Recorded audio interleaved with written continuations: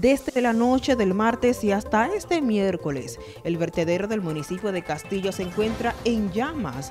De acuerdo a cuidadores en la zona, el incendio podría haber sido provocado.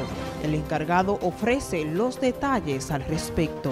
Encontré con este problema. No sé si le pegaron fuego o como una vez cogió fuego solo, no sé explicar directamente. Aquí ha sucedido dos veces. Una vez supuestamente lo quemaron unos muchachos no se identificó quién era, pero otra vez yo era este, testigo de eso que cogió fuego solo una vez, en una seca que hubo.